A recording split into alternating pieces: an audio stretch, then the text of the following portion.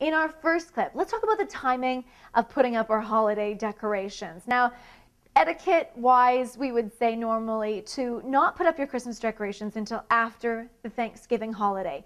So, not before Halloween, not before Thanksgiving, usually after Thanksgiving. And taking Christmas decorations down no later than January the 6th. Many people take them down right around the New Year's or uh, at the tail end of December, but usually around New Year's, but no later than January the 6th. So not before Thanksgiving, even though I know stores uh, put up a lot of their holiday decorations a bit earlier. We've seen them in stores even as early as Halloween now. But for you, in your family, and uh, in your home, not uh, it's best recommended not to put them up any earlier than Thanksgiving. Most people end of November, the majority of people beginning of December.